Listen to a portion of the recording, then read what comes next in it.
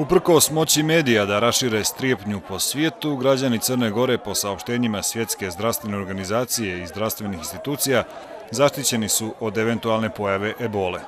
Institut za javno zdravlje javio je kako je trenutni rizik od virusa za putnike u međunarodnom saobraćaju i turiste prilično nizak. U svakom slučaju, sva lica koja dolaze iz država u kojima je registrovana epidemija ebole, shodno važećim zakonskim propisima u Crnoj Gori, neophodno je da prilikom ulaska u Crnu Goru na graničnom prelazu obavijeste nadležnog policijskog službenika o državama u kojima su boravila, kako bi im se po unaprijed utvrđenoj proceduri od strane zdravstveno-sanitarnog inspektora uručio akt o stavljanju pod zdravstveni nadzor u trajanju od 21 dan. Nadležni za sada smatraju da je to dovoljna zaštita. U nekim susjednim zemljama poput Srbije preduzimaju se određene mjere predostrožnosti. Putnicima se uručuju zdravstvena uputstva, a ako bi imali simptome, smještali bi se u izolovanu prostoriju pored piste. Dopis aerodroma Crne Gore indirektno saopštava da se kod nas to ne preduzima. Procijena epidemiološke situacije i propisivanje i nalaganje mjera na spriječavanju pojave ili širenja zaraznih bolesti na teritoriji države Crne Gore nije u nadležnosti aerodroma Crne Gore, svakako kao i u svakoj dosadašnjoj sličnoj situaciji. Odgovarajuće službe aerodroma Crne Gore će u slučaju da se za tim ukaže potreba postupiti u skladu sa instrukcijama nadležnih državnih organa i službi. Također, strogo je zabranjeno unositi svježe meso i mesne prerađevine iz Afrike.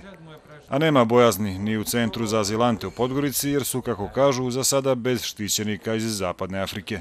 Uglavnom su korisnici koji su do sada lazili u centru za tražioce azila eh, iz Eritreje i Sudana, tako da za sada nije bilo razloga za brigom. A svi štićenici prolaze medicinski pregled, kažu u centru. Medicinski su eh, svi korisnici centra za tražioce azila u potpunosti pokriveni, jer se prilikom prijema E, svih korisnika vrši taj medicinsko-higijenski tretman kojem prisustuju doktor i medicinsko osoblje, a osim toga, znači ukoliko postoji e, bilo šta što bi naknadno trebalo odraditi, e, naše medicinsko osoblje je prisutno 24 sata u Centru za tražioca azila.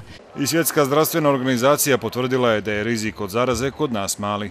Inače, danas i sjutra u toku je zasjedanje Komiteta za vanredne situacije Svjetske zdravstvene organizacije kako bi se ocijenilo na osnovu raspoloživih e, dokaza e, i informacija da li epidemija ebole u zapadnoj Africi predstavlja prijetnju po javno zdravlje na međunarodnom nivou i ukoliko to bude slučaj, e, izreće se preporuke o preduzimanju privremenih mjera radi smanjivanja širenja ebole na međunarodnom nivou.